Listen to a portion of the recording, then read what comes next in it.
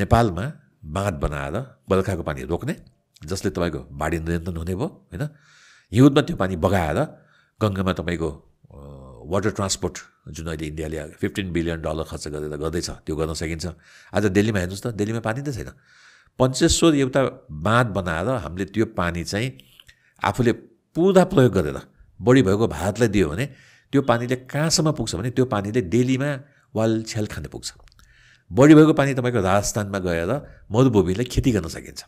त्यहाँबाट अझ बिस पर्सेन्ट पानी बचेर त्यो पानी तपाईँको गुजरातमा नर्मदामा लगेर गुजरातको इन्डस्ट्रियल लाई चाहिने पानी चाहिँ मा प्रयोग गर्न सकिन्छ। यति ठुलो पानी हामीसँग छ होइन? वाटर पर क्यापिटल मैले भनिहालेँ नि। बिस हजार लिटर प्रति व्यक्ति प्रतिदिन तपाईँको भागमा बिस हजार लिटर प्रति व्यक्ति प्रतिदिन पानी छ। हामीलाई चाहिने जम्मा करिब पैँतिस सय चार हजार लिटर प्रति व्यक्ति प्रतिदिन हो म्याक्सिमम्।